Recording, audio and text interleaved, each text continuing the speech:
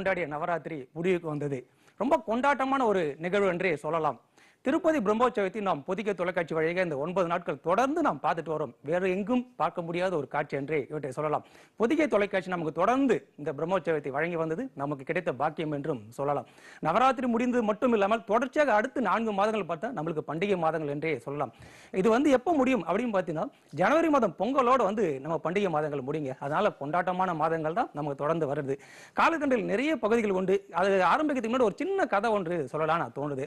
அதாவது பயம் அப்படின்னு பார்த்தீங்கன்னா நம்மளுக்கு நிறைய பேருக்கு வந்து ஒரு இருட்டு கண்டா பயம். ஒரு ஃபேன் சுத்துறதுக்கு கூட சில பேருக்கு வந்து பயம். புக்கு படிக்கிறவங்களுக்கு சில பேர் பயம். இந்த பயத்தை எப்படி போக்குவது அப்படின்றதுக்கு புருஸ்லி ஒரு சிறந்த உதாரணம் என்றே சொல்லலாம். ஒரு படத்துல புருஸ்லி ஒரு பெரிய படகுல வந்து ஒரு தீவை நோக்கி போயிட்டே இருப்பாரு. ஒரு சண்டை காட்சி அங்க சண்டை வந்து நடக்கும். அதனால வந்து புருஸ்லி போயிட்டு இருப்பாரு. அதே படகுல வந்து இன்னும் சில வீரர்களும் வந்து இருப்பாங்க. அதில் ஒரு வீரர் வந்து கொஞ்சம் ஆணவமாக வந்து கைகள்லாம் வந்து ஆட்டிட்டே இருப்பாரு எல்லாரையும் வந்து உதைப்பாரு அங்கே இருக்கிற வேலையெல்லாம் வந்து அடிப்பாரு.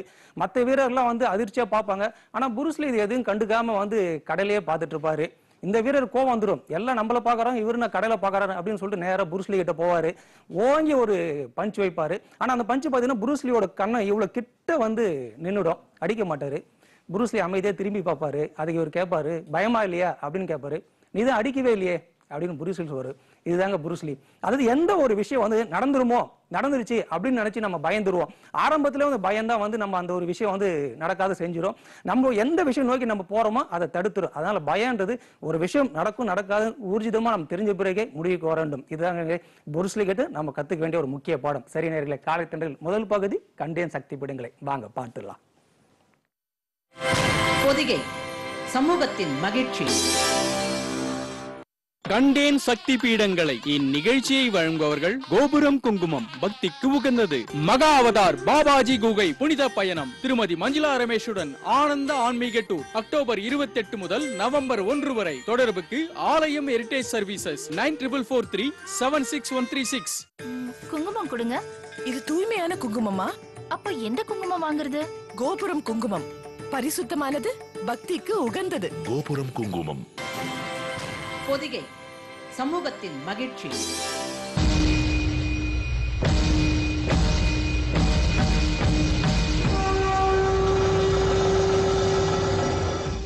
இதிலே அந்த ஸ்ரீயே சக்தி வீட்ட நாயகி என்பதை தெரிந்து கொள்ள முடிந்தது. ஸ்ரீ அந்த இடத்திலே தான் அன்னையினுடைய ருச்சி என்கின்ற அந்த பகுதி விழுந்தது. ருச்சி என்றால் உயிருக்கு புஷ்டி தருகின்ற சக்தி. நாம் எல்லோரும் நாம் எல்லோரும் நடமாடுகிறோம் என்று சொன்னால் அதற்கு நமக்கு அந்த சக்தி தேவையாக இருக்கிறது. புஷ்டி தேவையாக இருக்கிறது. வைணவ மார்க்கத்திலே புஷ்டி மார்க்கம் என்கின்ற ஒரு மார்க்கமே உண்டு.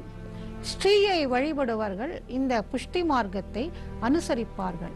இப்பேற்பட்ட இது தெற்கு கோடியிலே நம்முடைய தமிழகத்திலே வைணவத்திலே இருக்கின்ற ஒரு மார்க்கம்.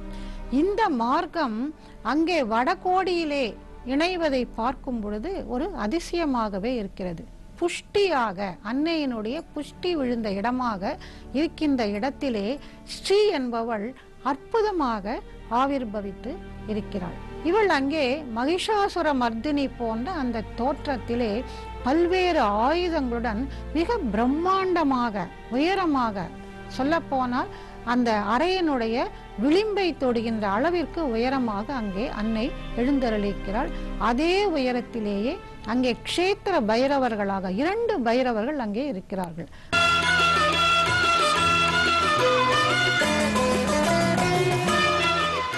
வஜ்ர பைரவர் மற்றும் மகாகாலர் இவர்கள் இருவரும் அங்கே இருக்கின்றார்கள். வஜ்ர பைரவர் என்று சொன்னால் புத்த மதத்திலே மிகவும் விசேஷமாக கொண்டாட படுபவர். மஞ்சுஸ்ரீ என்கின்ற ஒரு தெய்வ வடிவம் இருக்கிறது புத்த மார்க்கத்திலே. அந்த மஞ்சுஸ்ரீ என்பது ஞானத்தை தருகின்ற தெய்வம். அந்த மஞ்சுஸ்ரீயின் ஒரு வடிவமாக இருப்பவர்தான் இந்த வஜ்ரகாலர் என்பவர் அதனால் அவருடைய கையிலே ஒரு கையிலே அறியாமையை வெட்டுகின்ற கத்தி அமைந்திருக்கிறது. இன்னொரு கையிலே அதிசயத்தக்க முறையிலே ஏடு புத்தக ஏடு அவைகளை வைத்து கொண்டிருக்கிறார். ஆக அறியாமையை வெட்டி ஞானத்தை தருபவராக அங்கே வஜ்ரகாலர் எழுந்தருளி இருக்கிறார். இன்னொரு தெய்வ வடிவமாக ஸ்ரீக்கு பக்கத்திலே இருப்பது மகாகாலர் என்கின்ற வடிவம். இவரும் மிகவும் விசேஷமானவர். அவலகோட்டீஸ்வரர் என்று சொல்வார்கள் புத்த மதத்திலே அவரும் மிகவும் முக்கியமான ஒரு தெய்வம். அந்த தெய்வமும் ஞானத்தை தருபவராக வாழ்க்கையிலே துன்பங்களை நீக்குபவராக. எதை வேண்டினாலும் உடனே வரத்தை தருபவராக தீய சக்திகளை அழிப்பவராக உக்ர மகாகாலராக எழுந்தருளி இருக்கிறார். மகாகாலர் என்று சொன்னால் நாம் உஜ்ஜயினி நமக்கு உடனே நினைவுக்கு வரும் உஜ்ஜயினியிலே தான் மகாகாலரும் மகாகாளியும் எழுந்தருளி இருக்கிறார்கள். மகா விசேஷமான சக்தி பீட்டம் இந்த மகாகாலர் அங்கேயும் புத்த மதத்திலே வழிபடப்படுபவராகவும் அங்கே எழுந்தருளியிருப்பது என்பது மிகவும் விசேஷமாக இருக்கிறது. அதே போல யமா யமன் அவர் தெற்கு திசைக்கு உரியவர் காலன். காலத்தை ஒவ்வொருவருடைய காலத்தையும் முடிப்பவர். அவரவர்களுக்கு உரிய வினைகளின் பயன்களை அளித்து காலத்திற்கு ஏற்றவாறு அவர் அந்த உயிர்களினுடைய முடிவுகளை தருபவர். அப்பேற்பட்ட யமன் அங்கே கால பைரவருக்கு க- மகா காலருக்கு பக்கத்திலே எழுந்தருளியிருக்கிறார். இவர்களுக்கெல்லாம் ஒரு வித்தியாசமான வடிவிலே அங்கே குபேரன் வைஸ்ரவனாய என்கின்ற முறையிலே அங்கே எழுந்தருளியிருக்கிறார். அவர் குபேரன். நிறைய பொருட்களை கையில் வைத்திருப்பவராக மிகவும் சௌமியமான வடிவத்திலே அந்த மற்ற வடிவங்களுக்கெல்லாம் வித்தியாசமாக ஒரு சௌமிய வடிவத்திலே மகா வைஸ்ரவனாய என்கின்ற குபேரன் எழுந்தருளியிருக்கிறார். ஆக இவர்கள் அனைவரையும் நாம் வரிசையாக பார்க்கும் பொழுது நமக்கு அந்த வாழ்க்கை தத்துவத்தையே அவர்கள் உணர்த்துபவர்களாக இருக்கிறார் என்று சொல்லலாம்.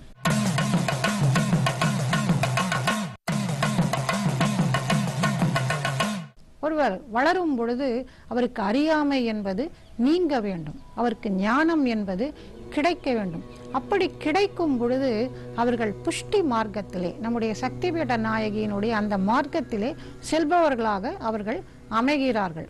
அப்படி செல்லும் பொழுது அந்த மகா காலர் தெய்வ வடிவம் என்பது நமக்கு நல்ல உணர்வுகளை நல்ல நிகழ்வுகளை நமக்கு ஏற்படுத்துகிறது. அவைகளை ஏற்படுத்தும் பொழுது நாம் எப்பொழுதும் நமக்கு எப்பொழுதுமே மரணம் என்பது உண்டு. அழிவு என்பது உண்டு. எனவே எப்பொழுதும் நம் அந்த மார்க்கம் புஷ்டி மார்க்கத்திலேயே நல்ல நிலையிலேயே நாம் செல்ல வேண்டும். அந்த உணர்வுகளோடு நாம் யமனை நாம் எப்பொழுதும் துதித்து கொண்டே இருந்தோம் என்று சொன்னால் நமக்கு வைஸ்ரவனாய என்கின்ற அந்த குபேரன் அளவற்ற செல்வத்தை வழங்குவான் என்பதாக அந்த வாழ்க்கையையே அவர்கள் அற்புதமான முறையிலே அமைத்திருக்கிறார்கள். அந்த லேயிலே பழங்குடி மக்கள் மலைவாழ் மக்கள் இந்த அளவிற்கு ஞானம் பெற்றவர்களாக அவர்கள் இருப்பதை அங்கே பார்க்கும் பொழுது மிகவும் ஒரு பெருமிதமாக நம்முடைய சனாதன தர்மத்தை பற்றி நாம் பெருமிதம் கொள்பவர்களாக ஆக வேண்டும். அந்த அளவிற்கு அவர்கள் வந்து அதுவும் குறிப்பாக அந்த நம்முடைய ஜனவரி மாதம் இப்பொழுது ஆங்கில முறையிலே சொல்லும் பொழுது ஜனவரி மாதம் நமக்கு தை மாதம் சூரியன் மாறுகின்ற அந்த நிலை. தட்சிணாயனத்திலிருந்து உத்தராயணத்து செல்கின்ற நிலை. அந்த நிலையிலே காலம் மாறும் பொழுது அவர்கள் மிகச்சரியாக இந்த தெய்வங்களை எல்லாம் அற்புதமான முறையிலே அவர்கள் அங்கே வழிபட்டு கொண்டு வருகிறார்கள். இப்படி அந்த ஸ்பிட்டு காளி நமக்கு மிக பல உண்மைகளை தெரிப்பு தெரிவிப்பவளாக அங்கே அற்புதமான முறையிலே அவள் எழுந்தருளி இருக்கிறாள் வேறு யாரும் காண முடியாத வேறு யாருக்கும் அவர்கள் தெரிவிக்காத அந்த ஒரு வழிபாடு என்பது அங்கே நாங்கள் சென்ற பொழுது எங்களுக்கு அந்த தரிசனம் கிடைத்தது. லேயில எங்கே பார்த்தாலும் ராணுவ வீரர்களை தான் நாம பார்க்க முடியும். ராணுவ கட்டுப்பாட்டில் அதனுடைய முழுமையான கட்டுப்பாட்டில் அமைந்திருக்கின்ற நகரமாக லே இருக்கிறது. அதனுடைய மற்றொரு ஒரு சிறப்பான அம்சம் அந்த அழகு அம்சம் என்ன என்று சொன்னால் நம்முடைய இந்தியாவிற்கு சிந்து நதி உள்ளே வருகின்ற இடமாக இருப்பதும் லேதான். லேக்கு பக்கத்திலே சிந்து நதி நம்முடைய புனிதமான பாரதத்திற்கு உள்ளே வருகிறது. அதனாலே அந்த இடத்திலே நதி வழிபாடு என்பதையும் மிகச் சிறப்பாக கொண்டாடுகிறார்கள். சில ஆண்டுகளுக்கு முன்பு சிந்து தரிசனம் என்பதாக ஒரு மிகப்பெரிய விழாவாகவும் அந்த இடத்திலே கொண்டாடப்பட்டது. அங்கே சதிபீட்டத்தினுடைய நாயகி குடிகொண்டு இருக்கிறாள் அந்த வடகோடியில் இருக்கின்ற நாயகியையும் நமக்கு தரிசிக்கின்ற பாக்கியம் கிடைத்தது.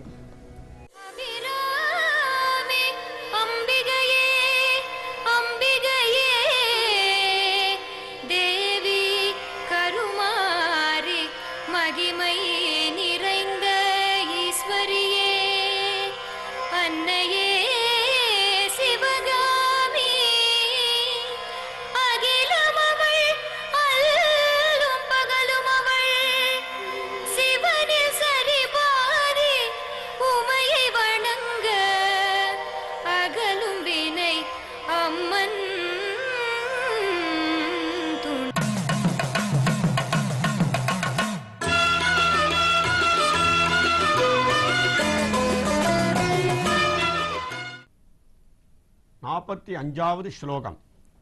ॐ श्रीं रूपिणी ओं वम वरदा देवी नारायणी देव्य नम। ओ वाख्या नारायणी देवी स्फटिकाभारुणांशुका स्फुटपद्मासना धत्ते पद्मद्वयवराभयान् ॐ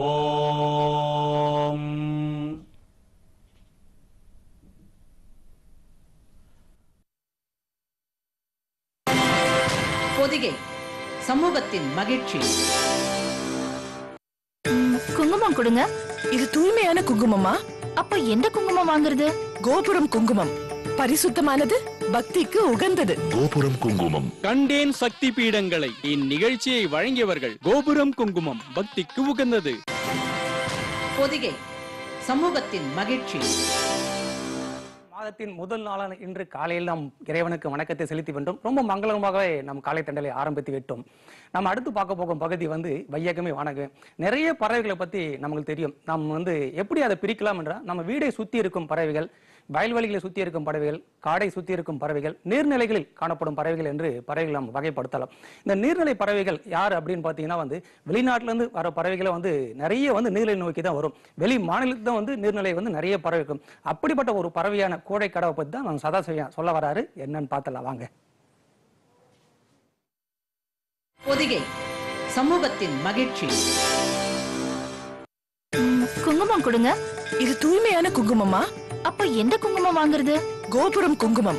பரிசுத்தமானது பக்திக்கு உகந்தது. கோபுரம் குங்குமம். வேப்பேரி காஞ்சிபுரம் எஸ்எம் சில்க்ஸின் முதலாம் ஆண்டு விழா சலுகை. செப்டம்பர் இருபத்தி ஒன்பது முப்பது மற்றும் அக்டோபர் ஒன்று இரண்டு தேதிகளில். திருமண பட்டு சேலைகள் gift sarees fashion designer sarees மற்றும் பட்டு வேஷ்டிகள். ஒன்று வாங்கினால் இரண்டு ஃப்ரீ ஃப்ரீ இச்சலுகை காஞ்சிபுரம் எஸ்எம் சில்க்ஸின். சென்னை கோவை பெங்களூரு காஞ்சிபுரம் விற்பனையகங்களிலும். பொதிகை. சமூகத்தின் மகிழ்ச்சி.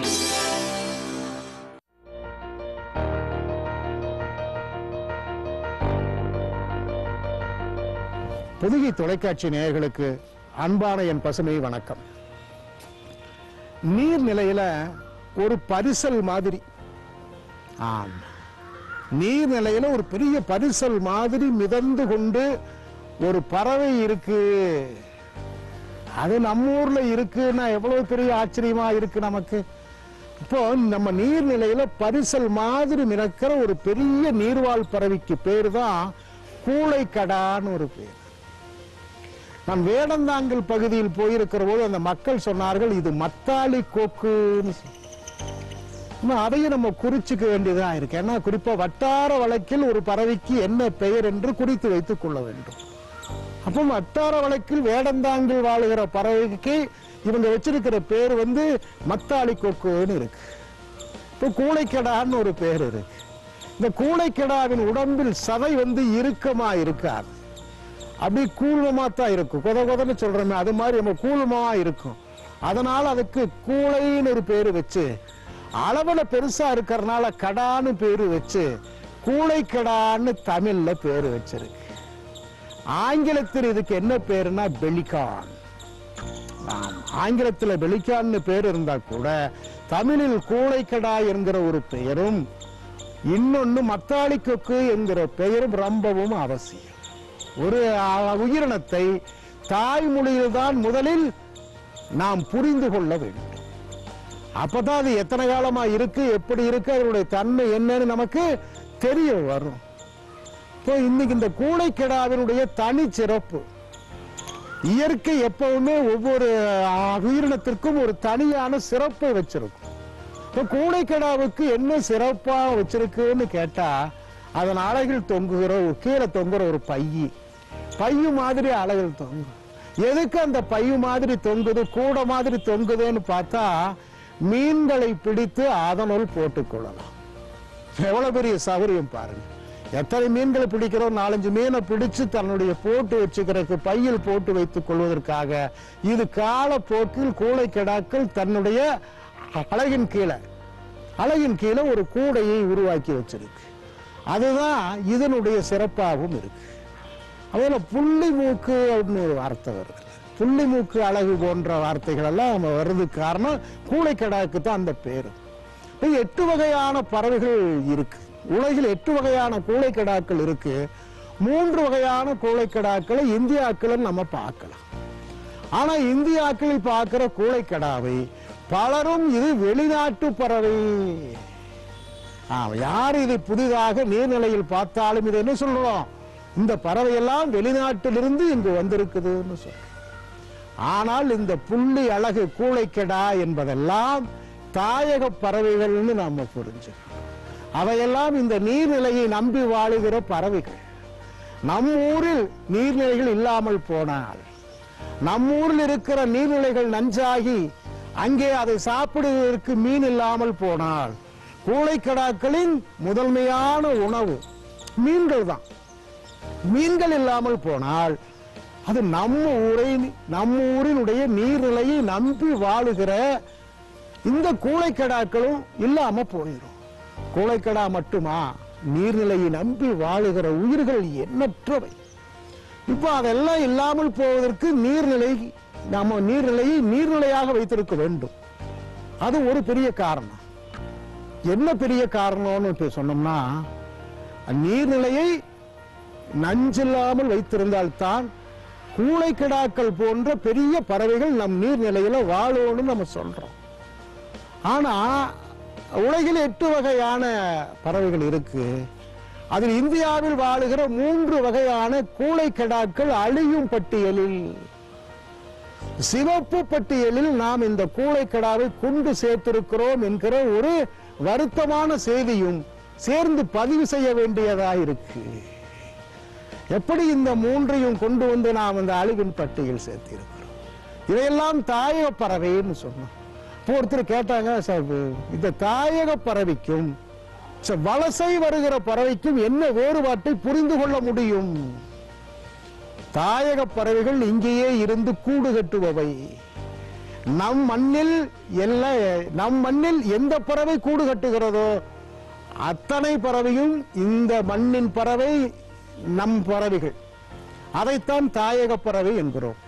வெளியே இருந்து மூன்று மாதம் வலசை வருகிற பறவைகள் மறந்தும் கூட இங்கே கூடுகளை கட்டாது. அவையெல்லாம் மூன்று மாதம் சாப்பிட்டு விட்டு தன்னூருக்கு போய் தன்னிடத்தில் தான் கூடுகள் கட்டும் என்று தாயக பறவைக்கும் வலசை பெறுகிற பறவைக்கும் வேறுபாடு பேசுகிற போது கூட இன்றைக்கு கூழக்கடை போன்றிருக்கிற பெரிய பறவைகளை அதுவும் நீரை நம்பி வாழுகிற பறவைகளை நாம் சிவப்பு பட்டியலில் சேர்த்திருக்கிறோம். கூளைக்கடாவுக்கு வேறொரு சிக்கல் இருக்கிறது. கூளைக்கடா கூடுதலாக மீன்களை சாப்பிடுகிற பறவை. இன்றைக்கு நமக்கு இருக்கிற சின்ன குளம் குட்டையெல்லாம் உள்ளாட்சி அமைப்புகளின் பெயரில் நாம் குத்தகைக்கு விட்டிருக்கிறோம். குத்தகைக்கு விட்டவர்கள் மீன் வளர்க்கிறார்கள். மீன் வளர்ப்பவர்கள் இவைகளுக்கெல்லாம் மீன் கொடுப்பாங்களா? கொடுப்பாங்க.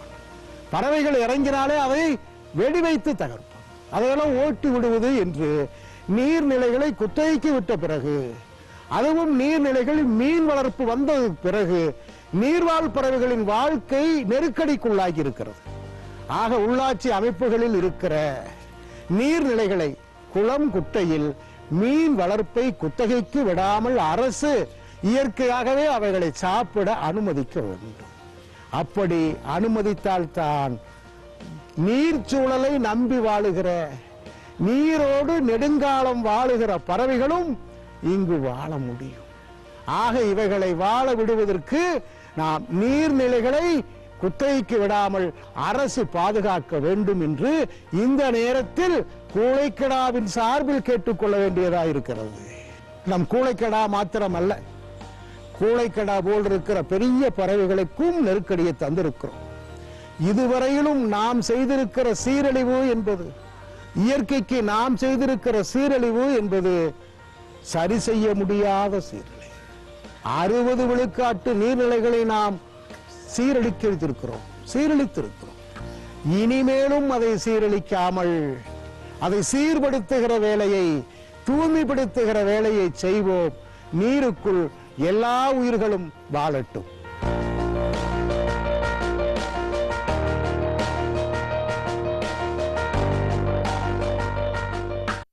அருமையான தகவல்லாம் வந்து நம்ம பார்த்தோம். அது மூன்று விதமான கூழைக்கடைகள் வந்து இந்தியாவில் இருப்பதாகவும் அதில் ஒரு கூழைக்கடை வந்து நம்ம சென்னையிலே வந்து நிறைய இடத்துல பார்க்கலாம். குறிப்பாக வந்து பள்ளிக்காரனில் பார்க்கலாம் பெரும்பாக்கத்தில் பார்க்கலாம் கேளம்பாக்கத்தில் பார்க்கலாம். இன்னும் பட்டினப்பாக்கம் ஏரியில கூட நம்ம இந்த கூழைக்கடைகளை பார்க்கலாம். மிகப்பெரிய பறவை தான் ஆனால் குட்டி கால் இருக்கும். நீங்கள் பள்ளிக்காரர்கள் பார்த்தீங்கன்னா பெரிய அந்த டிரான்ஸ்ஃபார்ம் ஒயரில் வந்து இந்த கூழைக்கடை உட்காந்துருக்கிறத லைனாக வந்து ரொம்ப தூரம் குட்டி குட்டி குட்டி ஸ்டாராக இருக்கிற மாதிரி நம்ம கண்ணுக்கு தெரியும். ரொம்ப அருமையான ஒரு பறவைகளை தொடர்ந்து நாம் சதாசிவம் கிட்ட நிறைய தகவல் நாம் தெரிஞ்சுட்டு வரோம்.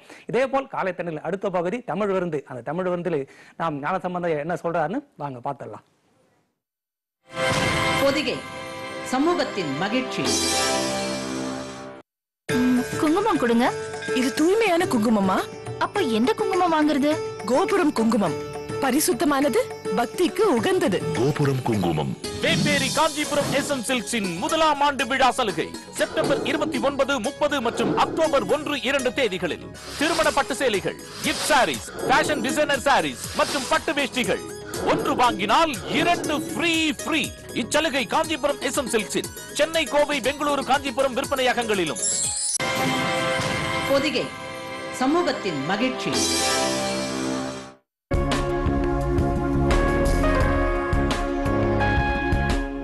பொதிகை தொலைக்காட்சி நேயர்களுக்கு என் இனிய காலை வணக்கம். தமிழ் விருந்து நிகழ்ச்சியை நாம் வீட்டுக்குள்ள இருந்து பார்க்குற போது இந்த வெளி உலகம் எப்படி இருக்கும் அப்படின்னு யோசிப்போம். பாருங்க இயற்கை என்ன அழகாக கொடுத்துருக்குது. இந்த அற்புதமான இந்த பாறையை பார்த்த உடனே ஒரு பெரிய மாடி மாதிரி எனக்கு தெரிஞ்சது. இங்கே தான் நம்ம நல்ல விஷயங்களை எல்லாம் பேசுகிறோம் இயற்கை சூழலில் பாடம் படித்தா மாணவர்களுக்கு அப்படி மனசில் பதியும்பாங்க. நாவல்களை பற்றி நான் சொல்லிட்டு இருந்தேன். அதில் குறிப்பாக முதல் நாவல் பிரதாபமலியா சரித்திரம் அப்படி சொன்னேன். ரெண்டு நாவல்கள் அதுக்கு பிறகு இருக்குது. இது மூணுமே ஒரு காலத்து நாவல் அப்படிம்பாங்க. ஒரே காலம்னா என்னென்னா ஆயிரத்தி எண்ணூற்றி எழுபத்தொம்போதுலேருந்து அந்த தொண்ணூறுக்குள்ளே எழுதப்பட்டது. அப்படி பார்க்கல ரெண்டாவது நாவல் கமலாம்பாள் சரித்திரம்.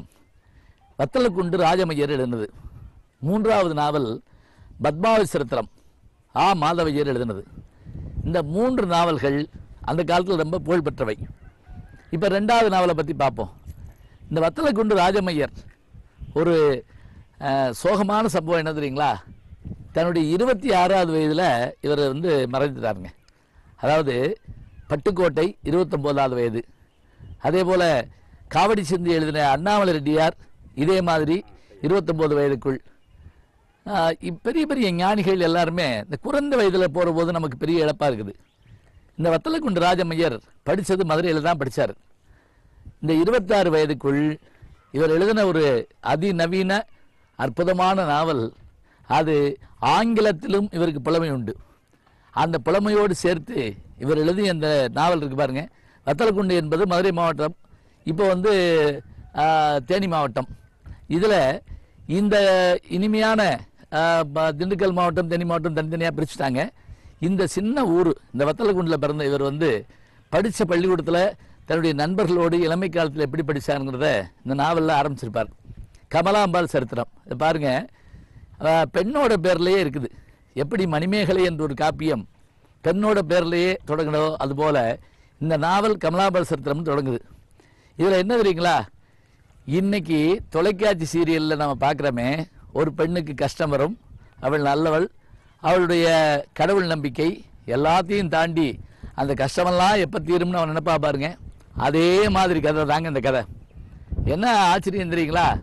இதில் வரக்கூடிய கமலாம்பாள் அவருடைய கணவன் அந்த கணவனுக்கும் அவருக்கும் திருமணம் நடக்கிற போது அவளுக்கு ஏற்படுகிற அந்த ப- பால்ய விவாகம் அந்த காலத்துலலாம் உண்டு. அந்த பால்ய விவாகம் எப்படி கல்யாணம் நடந்தது? நான்கு நாட்கள் கல்யாணம் நடக்குங்க. இப்போ நம்ம கேட்பேன் ஏன் நாலு நாளைக்கு முதல்ல வேலையை தவங்களா அப்படின்னு. இல்லை. ஏன் வரணும்னா அப்போ பயண இதுக்கு வண்டிகள் கிடையாது. மற்றது இல்லை. அதனால் அவங்க பயணப்பட்டு வரணும்.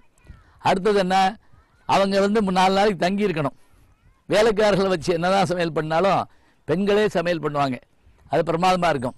இந்த திருமணம் இதில் நடைபெறுகிற கலவரங்கள் இதில் வரக்கூடிய பாத்திரங்கள் ஒரு மூணு பேர் சொல்கிறோம் பாருங்க.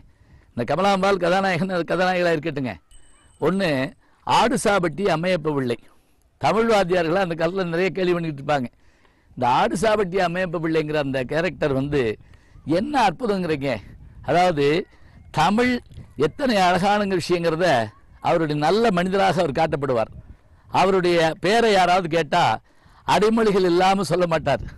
அதாவது ஆலிஸ் உலகமாகி இந்த உலகத்தில் அப்படின்னு ஆரம்பித்து தான் அவர் பேச ஆரம்பிப்பார். அப்படி ஒரு ஆறு கேரக்டர் அடுத்த ஒரு ஒரு ஒரு வயதான பெண்மணி. அவளுக்கு என்ன வேலை தெரியுங்களா? இன்னைக்கு சீரியல் வில்லியெல்லாம் இருக்காங்கல்ல இந்த சீரியல் வில்லிகளுக்கெல்லாம் மூத்த த- பாட்டி அவ தான். அவளுக்கு பேர் என்னென்னா பாப்பா பட்டியகத்து வெட்டருவான்னு அவளுக்கு பேர். அது ஏன்னா அவள் செஞ்ச ஒரு தப்புனால அந்த பேர் வச்சுருப்பாங்க. அந்த காலத்தில் இன்னொன்று என்னன்னா இன்னைக்கு நம்ம வீடுகளெல்லாம் கேஸ் இருக்குது. அப்படின்னு லைட்டரில் பற்ற வச்சோன்னே எரியுது. இன்னைக்கு கொஞ்ச நாள் கழிச்சு பார்த்தாலே எரியும்னு நினைக்கிறேன். அது ஒரு பக்கம் இருக்கட்டும். அப்போ எல்லாம் தீப்பெட்டி கிடையாதுங்க. தீப்பெட்டி இல்லாதனால என்ன பண்ணுவாங்கன்னா ஊருக்கு நடுவில் பொது இடத்துல தண்ணீர் மாதிரியே பொது இடத்துல நெருப்பு வச்சிருப்பாங்க. அப்படி நெருப்பு வச்சிருக்காங்க இல்லையா? அந்த நெருப்பை அவர்கள் வந்து போய் வாங்கிட்டு வரணும். இது மட்டும் இல்லை சிலுவடியில் என்ன பண்ணுவாங்க தெரியுங்களா? நெருப்பை வந்து ஒரு வீட்லேயே வாங்கிட்டு வருவாங்க. நான் சின்ன பிள்ளையில பார்த்துருக்கேன். ஒரு கரண்டியில் சாம்பிராணி கரண்டி மாதிரி இருக்கும். அதில் போய் நெருப்பு வாங்கிட்டு வந்து இவங்க வீட்டில் வச்சுக்கிடுவாங்க.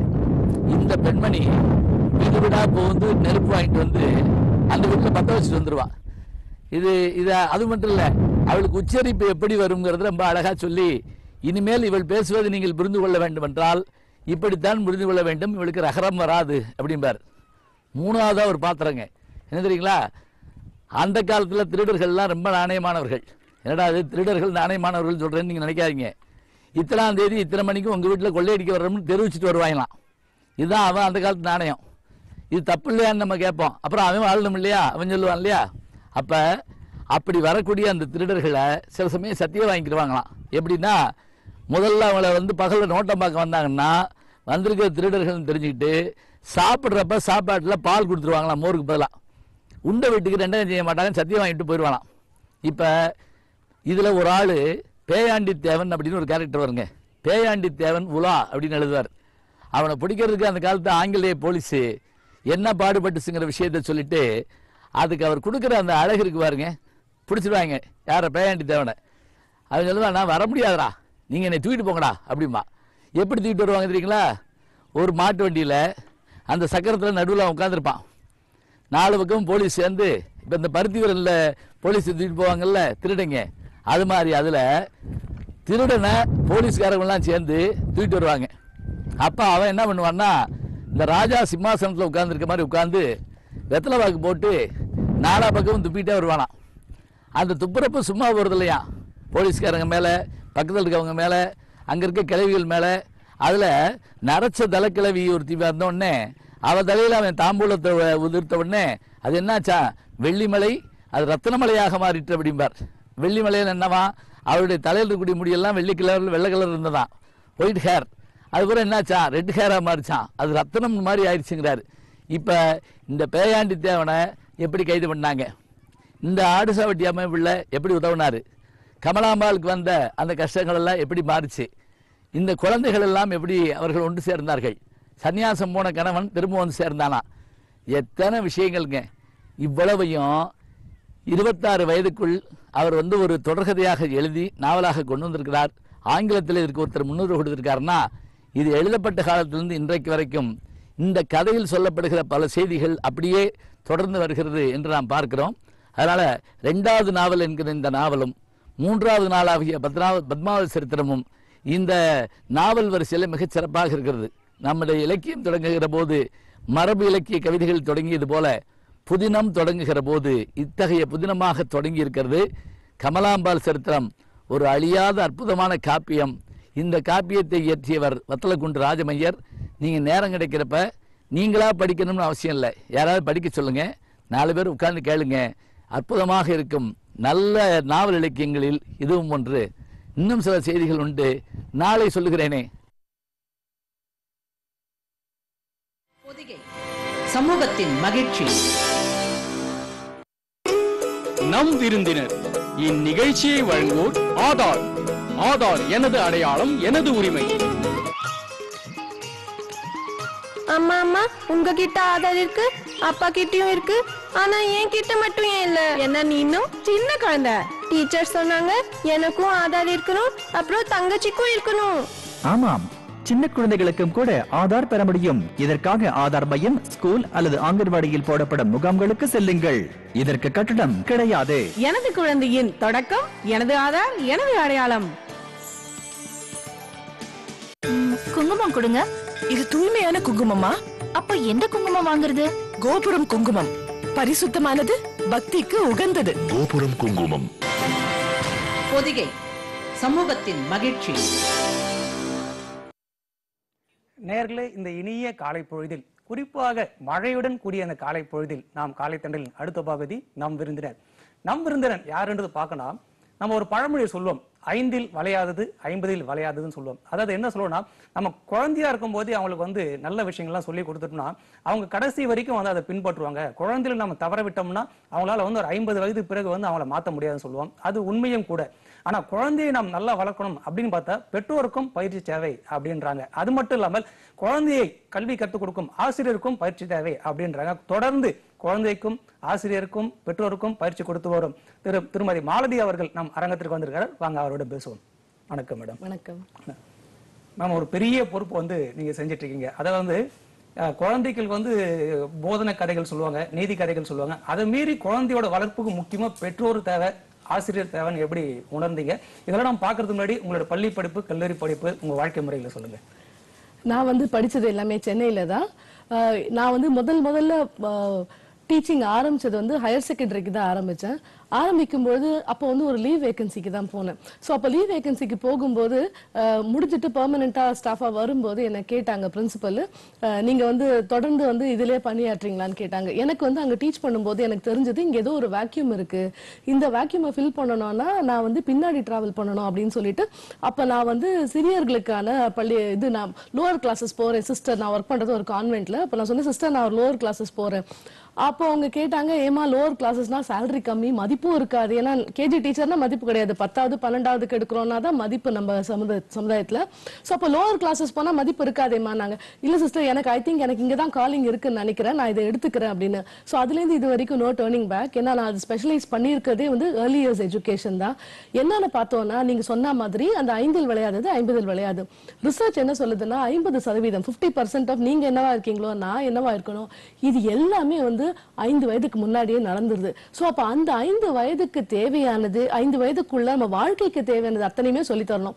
நர்சரி பள்ளிக்கூடம் அப்படின்றது வந்து வெறும் ஏபிசிடி மட்டும் சொல்லி கொடுக்கறது கிடையாது. அவங்களுக்கு தேவையான வாழ்க்கைக்கு தேவையான வாழ்க்கை கல்வி கற்றுக் கொடுக்கக்கூடியதாக இருக்கணும். அதுக்காக இது ரொம்ப ஸ்ட்ரெஸ்ஃபுல்லா இருக்கும் அப்படின்னா அதுவும் கிடையாது. ஒரு இனிமையா ஒரு எளிமையா இதை எப்படி எடுத்துக்கிட்டு போகலாம்? ஸோ அப்படி சொல்லி கொடுக்கணும்னா குழந்தைங்களுக்கு யார் அவங்களோட கூட இருக்கா? பெற்றோர்களும் ஆசிரியர்களும் தான். ஸோ அவர்களுக்கு முதல்ல நம்ம எடுத்து சொல்லணும் என்ன மாதிரின்னு. ஏன்னா இன்னைக்கு வந்து காலகட்டத்தில் பார்த்தோம்னா ஒரு டாக்டர் ஆகணும் ஒரு இன்ஜினியர் ஆகணும் ஒரு வக்கீல் ஆகணும் ஒரு டீச்சர் ஆகணும்னா கூட பயிற்சி வகுப்பு இருக்கு. ஒரு டெக்னீஷியன் ஆகணும்னா கூட பயிற்சி வகுப்பு இருக்கு. ஆனால் ஒரு நல்ல பெற்றோராக இருக்கணும் அப்படின்னா அதற்கான ஒரு பயிற்சி வகுப்பு கிடையாது. எல்லாருமே வந்து நம்ம பெற்றோர்கள் இப்படி பண்ணாங்க நம்ம சித்தப்பா இப்படி பண்ணாரு. ஸோ அந்த மாதிரி நம்ம குழந்தைய வளர்க்கணும். அப்படின்ற ஒரு நோக்கத்துல தான் வளர்த்துட்டு இருக்காங்களே தவிர சோ அதற்கான பயிற்சி என்ன தேவை? ஏன்னா நிறைய நேரம் என்ன ஆகுதுன்னா நம்ம சுற்றி இருக்கும் அடல்ட் வந்து நல்லா இல்லாத காலகட்டத்துல தான் குழந்தைகளோட வாழ்க்கை மாறி போகுது சோ அதற்காக தான் இந்த பயிற்சிகளை ஆரம்பிச்சேன். ஐந்து வயதுக்குள்ள குழந்தைகளுக்கு என்னென்ன பயிற்சி கொடுக்குறீங்க மேடம் அதாவது என்னன்னா இப்போ நம்மளுடைய வாழ்க்கை இந்திய இந்திய சாப்பாட்டில் பார்த்தீங்கன்னா எல்லாருக்குமே உணவு ரொம்ப முக்கியம். ஸோ நம்மளுக்கு முக்கியமானது என்னன்னு பார்த்தீங்கன்னா வந்து ஸ்பைஸ் நம்மளுடைய ஸ்பைஸ் இல்லாத சாப்பாடு நல்லா இருக்காது. ஸோ அது வந்து எஸ்பிஐசிஇ ஸோ இது வந்து social physical intellectual creative and emotional skills இந்த அஞ்சு ஸ்கில்லும் வந்து குழந்தைங்களுக்கு ரொம்ப முக்கியம். நான் சொன்ன மாதிரி வந்து வெறும் வந்து ஆல்பபெட்டோ நம்பர்ஸோ இல்லை ஒரு ரைம்ஸோ நாலு ரைமோ பாடி போடுறது முக்கியம் கிடையாது. ஏன்னா அந்த சோஷியல் ஸ்கில் சொல்லும்போது சமுதாயத்தில் நான் எப்படி பழகணும் விட்டு கொடுத்து வாழணும். ஏன்னா பள்ளிக்கு வரதே அதுதான் முக்கியமானது. ஸோ நான் விட்டு கொடுத்து வாழணும் ஷேரிங் பண்ணிக்கணும். ஏன்னா வீட்டில் இருக்கும்போது எனக்கு ஒரு கப்புனா இது எனக்கு மட்டும்தான். ஆனால் நான் பள்ளிக்கு வந்தேன்னா இதே டம்ளரை நான் ஒரு நாலு பேரோட யூஸ் பண்ணணும். ஸோ அதை எப்படி கத்துக்கிறதுன்றதுக்காக மட்டும்தான் அந்த சோஷியல் ஸ்கில்ஸ் அடுத்தது பார்த்தீங்கன்னா பி ஃபிசிக்கல் ஸ்கில்ஸ் இன்னைக்கு வந்து எல்லா இடத்துலயுமே வந்து புற்றீசல் மாதிரி வந்து பிளே ஸ்கூல் அப்படின்னு நிறைய இருக்கு. ஆனா அங்க பிளேவே கிடையாது. ஸோ இங்க பிளே அப்படின்ற எலிமெண்ட் வந்து ரொம்ப முக்கியம். ஏன்னா வந்து ஆளும் வளரணும் அழிவு அறிவும் வளரணும் அதுதான் வளர்ச்சி. ஸோ அதனால வந்து அவர்களுடைய ஆளுமை திறன் வளர்றதுக்காக அதாவது உடம் உடல் திறன் ரொம்ப முக்கியம். ஏன்னா வந்து ஹோல் பிரெயின் டெவலப்மெண்ட் வந்து உடற்பயிற்சியால மட்டும்தான் வரும். ஸோ பிறந்த குழந்தை ஒரு பதினெட்டு மாசம் ரெண்டரை வயசு ஸ்கூலுக்குள்ள வருது ஒன்றரை வயசுல இருந்து ரெண்டரை வயசுக்குள்ள தான் இப்ப ஸ்கூல்ல போட்டுறாங்க. ஸோ அந்த பிளே ஸ்கூலுக்கு வரும்போது அவங்கள உட்கார வச்சு ஆல்பபெட்டோ நம்பர்ஸோ எழுத வைக்காம அவர்களுக்கு தேவையான gross motor and fine motor ஸ்கில்ஸை develop பண்ணும். அதுக்கான பிசிக்கல் ஸ்கில்ஸ் அடுத்தது இன்டெலெக்சுவல் குழந்தைகளுக்கு இயற்கையாகவே வந்து ரொம்ப கியூரியாசிட்டி நிறைய இருக்கும். நிறைய விஷயங்கள் இது எப்படி செய்யலாம்? இப்போ ஒரு குழந்தை எங்க விட்டோம்னா இது எது என்னன்னு ஆராய்ச்சி பண்ணிடும் ஒரு பொம்மை வாங்கி கொடுத்தா கூட வீட்டில் பெரியவங்க சொல்றது அதுதான். எங்க ஒரு பொம்மை வாங்கி கொடுத்தா உடச்சி ஓடு படுத்திக்கிறாங்க ஸோ அது வந்து அந்த குழந்தைகளோட நேச்சுரல் கியூரியாசிட்டி வந்து அது வந்து என்னன்னு தெரிஞ்சுக்கிறது. ஸோ அந்த இன்டெலெக்சுவல் கியூரியாசிட்டி வந்து அனலைசிங் ரீசனிங் இதுதான் நம்ம டுவெண்ட்டி ஃபர்ஸ்ட் சென்ச்சுரி ஸ்கில்ஸ்னு இன்னைக்கு சொல்றோம். இருபத்தோராம் நூற்றாண்டுக்கு என்ன தேவைகள் அப்படின்னு பார்த்தா ஒரு நல்ல ப்ராப்ளம் சால்விங் வேணும் அனலைசிங் வேணும் ஒரு டெசிஷன் மேக்கிங் வேணும். ஸோ அந்த ஸ்கில்ஸ் வந்து கிளாஸ்ல வந்து விளையாட்டு மூலமா பசில்ஸ் சால்விங் ஒரு கூட்டு விளையாட்டு கூட்டு முயற்சி மூலமா அதெல்லாம் சொல்லித்தரும். அடுத்தது வந்து கிரியேட்டிவ் ஸ்கில்ஸ் எந்த ஒரு விஷயமா இருந்தாலும் கிரியேட்டிவிட்டி ரொம்ப முக்கியம். இன்னைக்கு வந்து இந்த ஒரு செட்டில் அழகா உட்காந்துருக்கோம் இந்த கிரியேட்டிவிட்டி இது கண்டிப்பாக வந்து ஒவ்வொரு விஷயத்துலயுமே வந்து கிரியேட்டிவிட்டின்றது ரொம்ப முக்கியம். அடுத்தது இமோஷனல் ஸ்கில்ஸ் இமோஷனல் ஸ்கில்ஸ் இல்லைன்னா இன்னைக்கு நடக்கிற பல பிரச்சனைகள் டீனேஜ் பதினொன்று வயதுல இருக்கிற குழந்தைகளுக்கு பாதி பிரச்சனைகளுக்கு காரணம் அவங்களோட இமோஷனல் இம்பேலன்ஸ் தான். சோ இந்த இமோஷனல் ஸ்கில்ஸ் வந்து குழந்தைகளுக்கு வந்து அதே தான் கதைகள் விளையாட்டு மூலமா சொல்லித் தரோம் இது முக்கியமா வந்து பெற்றோர்களுக்கும் ஆசிரியர்களுக்கும் சொல்லித் தரோம் ஏன்னா எனக்கு நான் இமோஷனலி பேலன்ஸ்டா இருந்தா மட்டும்தான் அதை நான் குழந்தைகளுக்கு சொல்லித் தர முடியும். சோ இந்த ஐந்து ஸ்கில்ஸையும் தான் ரொம்ப முக்கியமா நம்ம முதன்மைப்படுத்தி சொல்லி கொடுத்துட்டு வரோம். இந்த ஐந்து வயதுக்குள்ள குழந்தைகள் இது எந்த அளவுக்கு கதை சொல்லி அவங்களுக்கு புரிய வைப்பீங்களா? இல்லைன்னா வந்து பொம்மை மாதிரி காமிச்சு புரிய? ஏன்னா அவங்களுக்கு எந்த அளவுக்கு அதை புரிஞ்சுக்கிற சக்தி இருக்கும்? அதாவது நான் சொன்ன மாதிரி குழந்தைகளுக்கு வந்து நல்ல sharp they are very sharp நம்ம சொன்னீங்கன்னா நான் சொன்னேன் இப்ப நீங்க விட்டீங்கன்னா அவங்க எல்லாமே ஆப்ரேட் பண்ணுவாங்க குழந்தைகள். ஆனா அவங்கள நம்ம ரொம்ப அண்டர் எஸ்டிமேட் பண்ணி அவங்களுக்கு தேவையில்லாதது. ஸோ ஏஜ் அப்ராப்ரியேட் ஆக்டிவிட்டிஸ் வந்து டிசைன் பண்ணிட்டு அதை விளையாட்டு மூலமா ஒரு ஒர்க் ஷீட் மூலமா அதுக்கப்புறம் வந்து அவர்கள் வந்து செய்யக்கூடிய பொம்மைகள் மூலமா பசில்ஸ் பசில்ஸ் எடுத்து அவங்க விளையாட முடியுமா? க- கதைகள் அவங்களுடைய நாடகங்கள் அப்புறம் அவங்க பார்க்கக்கூடிய காட்சிகள் டிவியில பார்க்கறது எல்லாமே ஆனா மனசுல வாங்கிக்கிறாங்க. அதனாலதான் எந்த பாட்டு பாடினாலும் பசங்க பாடுறாங்க. ஸோ அதனால நல்லவைகளை அவர்கள் கண் முன்னாடி கொண்டு வந்து நிறுத்துறோம். ஸோ அதன் மூலமா தான் இதை சொல்லி பெற்றோர்களும் ஆசிரியர்களும் முக்கிய அவங்களுடைய குறிக்கோள் பார்த்தீங்கன்னா வந்து பாடம் தான் இருக்கும். இவ்வளவு மதிப்பு எதுல வந்து கம்மியாயிடுச்சோ அதுல அதிகப்படுத்துறதுக்கான அந்த ஆசிரியரை பார்த்து அதிகம் என்ன பண்ணலாம்? இவங்களுக்கு என்னென்ன பயிற்சி இருக்குமே? இந்த குழந்தைகளோட வளர்ப்புல அதாவது பாடத்தை தவிர்த்து. பெற்றோர்களுக்கு வந்து என்னன்னா வந்து அன்பார்ச்சுனேட்டா வந்து நம்மளுக்கு வந்து இந்த வயசுல அது கிடையாது ஃபார்ச்சுனேட் தான் அது. ஆக்சுவலா இந்த வயசுல வந்து அந்த எதிர்பார்ப்பு இருக்காது. ஏன்னா போன உடனே என்ன எதிர்பார்ப்பாங்கன்னா குழந்தைகள் வந்து நல்ல இங்கிலீஷ் பேசணும் நம்ம நாட்டை பொறுத்த வரைக்கும். அதுக்கு அடுத்தது வந்து எடுத்த உடனே ஏபிசிடி எழுதணும் கர்சிவ் ரைட்டிங் எழுதணும் அவங்களுக்கு வந்து ஹேண்ட் ரைட்டிங் நல்லா இருக்கணும். படிக்க இதுதான் வந்து ரொம்ப முக்கியமா இருக்கும். ஸோ அப்போ பெற்றோர்கள் கிட்ட என்ன சொல்லுவோம்னா இது எல்லாமே நடக்கும். எப்படி நடக்கும்னா ஒரு சீக்வன்ஸ் ஒரு ஆர்டர் பிரகாரம் தான். எப்படி நம்ம ஒரு விதை விதைச்சோம்னா அடுத்த நாளே மரமாகி காய் கொடுக்கும்ன்றது எதிர்பார்க்க மாட்டோமா? அதே மாதிரி வந்து குழந்தைகள் வளர்ச்சின்றது வந்து கிராஜுவலாக தான் இருக்கும். ஸோ அந்த கிராஜுவலாக வளரும் பொழுது அதற்கான பொறுமை ரொம்ப ரொம்ப தேவை. அவங்கள வளர்க்கும் போது நமக்கு நிறைய சாக்ரிஃபைஸ் ஒரு பெற்றோராக இருக்கும்போது நம்மளுடைய தேவைகளை வந்து நம்ம நிறைய சாக்ரிஃபைஸ் பண்ணணும். அதாவது நம்மளுடைய தூக்கத்தை நம்மளுடைய பிடிச்ச சாப்பாட்டு நமக்கு பிடிச்ச டிவி ப்ரோக்ராமை சாக்ரிஃபைஸ் பண்ணணும். ஏன்னா குழந்தைகள் நம்மளோட சுற்றி இருக்க குழந்தைகள் அதை பார்க்கும்போது அதை தான் பார்க்குறாங்க. ஸோ அதே மாதிரி வந்து அவங்களுடைய ஏன்னா மீதி பேருக்கெல்லாம் நிறைய அவங்க ப்ரொஃபஷனலா டைம் ஸ்பெண்ட் பண்றாங்க. குழந்தைகளுக்குன்னு பாத்தீங்கன்னா கம்மியா தான் ஸ்பெண்ட் பண்றாங்க. ஸோ அதனால இதற்கான பயிற்சி தரும். அதே மாதிரி குழந்தைகள் கிட்ட எடுத்த உடனே அவங்க வந்து எழுதணும் அப்படின்றது எதிர்பார்க்காம ஏன்னா அந்த மோட்டார் ஸ்கில் டெவலப்மெண்ட் இல்லாம அந்த பென்சிலை கொடுத்து ரெண்டு வயசு குழந்தைகிட்ட எழுதுன்னு சொல்லும் பொழுது என்ன ஆகுதுன்னா அவர்களுக்கான வலி வருது நரம்பு தளர்ச்சி வருது. ஸோ அதனால தான் வந்து நீங்க வந்து ஐந்தாம் வகுப்பு ஆறாம் வகுப்புல போனோடனே என்ன சொல்லுதுன்னா பசங்க அம்மா நான் வாயில சொல்லிடுறேனே. எனக்கு எழுத முடியாது. நிறைய ஸ்கூல்ல நிறைய பிரச்சனைகள் என்னன்னா வந்து பசங்க வாயில நல்லா படிச்சுறாங்க எழுத மாட்டேங்கிறாங்க. ஏன்னா ஃபால்ட்டி ஹேண்ட் ரைட்டிங் வந்து அவங்களுடைய வளர்ச்சி முழுமையடையாத சமயத்துல பென்சிலை கொடுத்து எழுத வைக்கும் பொழுதுதான் இது நடக்குது. ஸோ அதனால அதை வந்து புரிதல் கொடுக்குறோம். பெற்றோர்களுக்கு இப்போ குழந்தைகளுக்கு இந்த மாதிரி ஒரு பயிற்சியின் போது பெற்றோர்களுக்கு ஆசிரியருக்கு என்னென்ன பயிற்சி கொடுக்குறீங்க? அதுதான். இப்ப சொன்ன மாதிரி பெற்றோர்களுக்கு இந்த மாதிரி பயிற்சி. அடுத்தது வந்து ஹெலிகாப்டர் பேரண்டிங்னு இருக்கும். அதாவது பேரண்ட் என்ன பண்ணுவாங்கன்னா சுத்தி சுத்தி குழந்தையே சுத்தி சுத்தி வந்துட்டு இருப்பாங்க. அந்த குழந்தைங்களை தனியா கூட விட மாட்டாங்க ரெண்டு நிமிஷம். சோ எந்த நேரத்துல கவனிப்பு எந்த நேரத்துல கவனிக்க வேண்டாம் ஏன் பின்னாடியே போக வேண்டாம்? ஏன்னா அவர்களுக்குன்னு ஒரு தனியான விளையாட்டு தேவை. இருபத்தி நாலு மணி நேரம் நம்ம கூட இருக்கணும்னு இல்ல. அந்த குழந்தை வந்து தனியா வளரணும். சோ அதற்கான சோ இது வந்து நான் வெறும் எல்கேஜி யூகேஜிக்கு மட்டும் தரல குழந்தை வளர்ப்பை பத்தி அடலசன் சில்ட்ரன் அதாவது வந்து ஆறுல இருந்து பத்து வயது குழந்தைகள் பிளஸ் வந்து அடலசன்ஸ் அதுக்கப்புறம் டீனேஜ் சில்ட்ரன் இவங்க எல்லாரையுமே எப்படி டீல் பண்றது? ஏன்னா அவங்களுக்குள்ளான ஸ்ட்ரெஸ் இருக்கும். அந்த லெவல்ல எஸ்பெஷலி டீனேஜ் சில்ட்ரன் பாத்தீங்கன்னா என்ன ஆகும்னா அந்த டீன் அப்படின்னு வரும்பொழுது நம்மளுடைய வாழ்க்கையில அது ஒரு பெரிய ஸ்ட்ரெஸ்ஸா நினைச்சுப்போம். டீனேஜ்ன்றது எல்லா பேரண்ட்ஸுமே பாத்தீங்கன்னா என்ன செய்யறதுனே தெரியலீங்க அப்படின்னுவாங்க. இந்த டீனேஜ்ன்றது வந்து ஆக்சுவலா இட் இஸ் அ ப்ராசஸ் ஏன்னா நீங்களும் அதுல கடந்து வந்திருக்கீங்க நானும் அதை கடந்து வந்திருக்கேன். இது வந்து பெரிய வியாதி கிடையாது. இதை பார்த்து பயப்படவும் தேவையில்லை. ஆனா நிறைய பெற்றோர்கள் இதை பயந்துப்பாங்க. ஏன் பயந்துப்பாங்கன்னா அவங்களுக்கு வந்து அந்த டீனேஜை பத்தி புரிதல் இல்ல. புரிதல் இல்லாதால என்ன ஆகும்னா நம்மளுடைய வளர்ந்த காலகட்டம்லாம் வேற. ஆனா இன்னைக்கு நம்மளுடைய குழந்தைகள் வளரக்கூடிய காலகட்டம் ரொம்ப வேற. நம்ம அப்போதான் கெரியர்ல வந்து இப்போ வந்து டீனேஜ் வயசுல ஒரு குழந்தை இருக்கு அப்படின்னா அவர்கள் நாற்பது வயசுல கிட்டத்தட்ட நாற்பது மிட் ஃபார்ட்டிஸ்ல இருப்பாங்க. Early forties mid forties so அந்த மிட் ஃபார்ட்டிஸ்ல இருக்கும்போது கரியர்ல அப்பதான் அவங்க எஸ்டாப்ளிஷ் ஆயிருப்பாங்க. பிளஸ் வந்து ஒரு வீட்டு ஹோம் லோன் வாங்கியிருப்பாங்க. அதை கட்டணும்னு இருக்கும். இந்த அம்மாவுக்கு வந்து அனுப்புறதல் அம்மாவும் ஒர்க்கிங் மதரா இருந்தாங்கன்னா இன்னுமே ஆடட் ரொம்பவே பிரச்சனையா இருக்கும். ஸோ இதெல்லாம் சேரும்பொழுது வீட்டுல வந்து ஒரு இறுக்கமான சூழ்நிலை இருக்கு. இந்த இறுக்கமான சூழ்நிலை வந்து அந்த குழந்தை நிறைய நேரம் என்ன நினைக்குதுன்னா நாங்க போய் கவுன்சில் பண்ணும்போது அந்த குழந்தை சொல்லுது அப்பா அம்மாக்கு என்ன கண்டாலே பிடிக்கல அப்படின்னு சொல்லுதுங்க. ஓகே. ஓகே ஒரு சிறிய இடைவேளைக்கு பிறகு நம்ம தொடர்ந்து பேசலாம். நேர்களே ஒரு சிறிய இடைவேளை. சமூகத்தின் மகிழ்ச்சி. ஆராத்யா கோல்டின் குயில் தோப்பு. குயில்கள் கூவும் பொதிகை. பொதிகையின் குயில் தோப்பு. ஞாயிற்றுக்கிழமை பன்னிரண்டு ஐந்து முதல் ஒன்று முப்பது வரை. குயில் தோப்பு.